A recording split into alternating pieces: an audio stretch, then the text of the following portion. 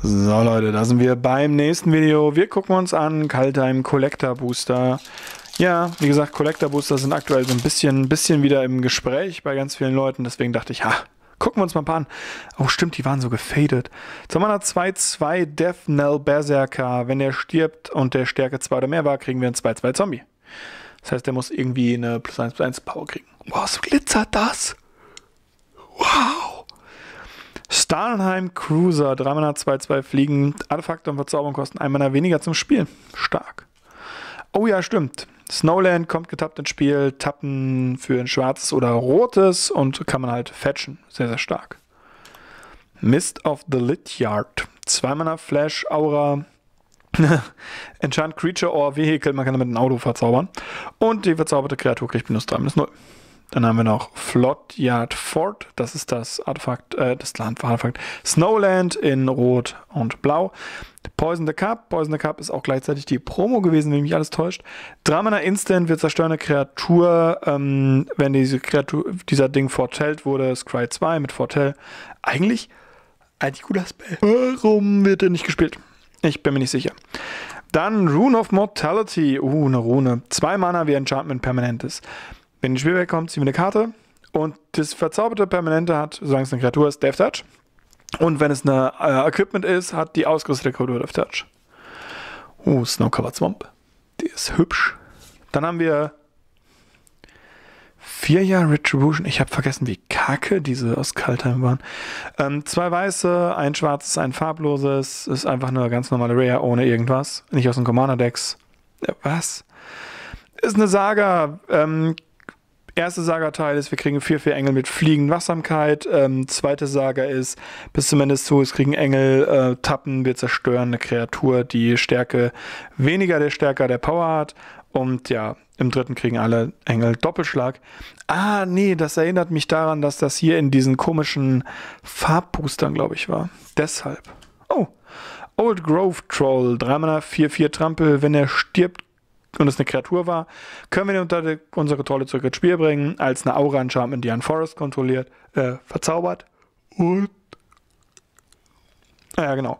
Der Enchanted Forest hat Tappen für zwei Grüne oder ein Mana, wir opfern dieses Land und kreieren diesen Troll Warrior Token.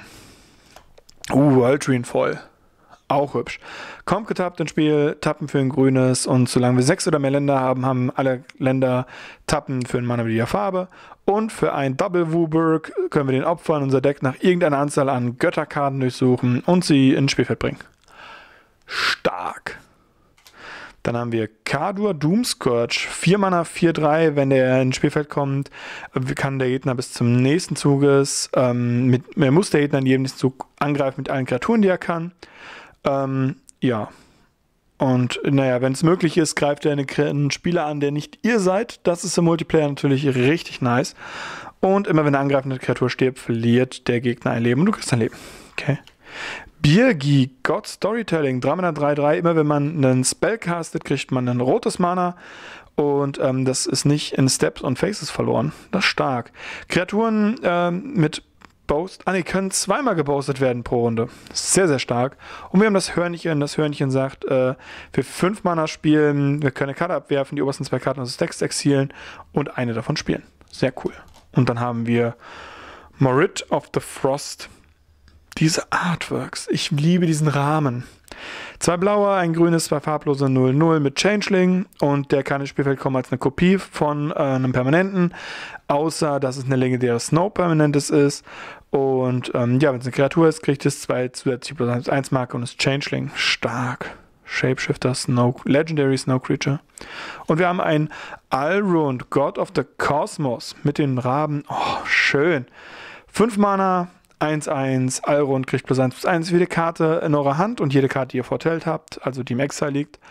Und zu Beginn eures Endsteps könnt ihr einen Kartentyp wählen. Ihr könnt die oberste Karte, obersten zwei Karten eures Decks vorzeigen und alle Karten mit den, mit den Typen, den ihr ausgesucht habt, äh, auf die Hand nehmen. Der Rest geht unter die Bibliothek. Und auf der anderen Seite habt ihr einen Raben und zwar HK Withering Raven. 2 Mana 2-3 fliegend. Wenn der einen Gegner Schaden zufügt, ähm, wird er zu auf die Hand gemacht und wir machen Scry 2. Sehr cool. Und ein Angel Warrior. 4-4, Fliegen Wachsamkeit und ein Treasure Token mit einem Printline. ja, sehr, sehr cooles Kaltheim Booster, glaube ich. Ich hoffe, ihr seht das genauso. Wir sehen uns beim nächsten Mal. Bis dahin, habe ich gesagt. Ciao, ciao.